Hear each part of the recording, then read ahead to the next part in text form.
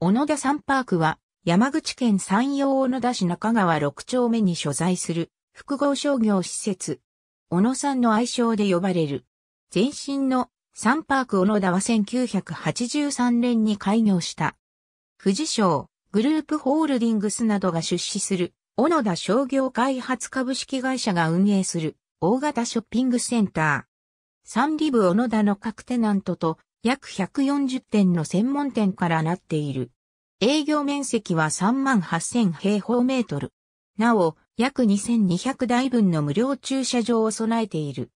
2008年には大幅な増床、リニューアル工事が行われ、富士グランテナント部分を除いて、これまでの店舗を取り壊し、新館が建設された。営業面積はそれまでの24,300平方メートルから3万8000平方メートルに、店舗数は79から約140に増えた。なお、リニューアルにあたっては、京阪グループの京阪流通システムズに、計画立案、リーシング業務が委託されており、リニューアル完了後はリーシングに加えて、施設運営に関するコンサルティング業務も委託されている。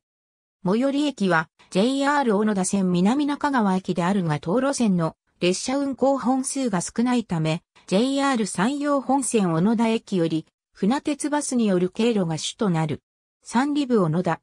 かつてのことぶきや富士グラン、夢タウン部分を利用している。